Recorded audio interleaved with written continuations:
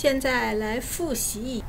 您好，你好，新年好，元旦快乐，祝你新年快乐。Only a few minutes left for the rest of today's class. I'm so proud of all of you. Look how much you have learned today. Remember to practice Chinese at home. Practice speaking Chinese to your friends. Surprise them and showcase how much you have learned. Keep practicing and count how much progress you have made. Goodbye for today. See you next week.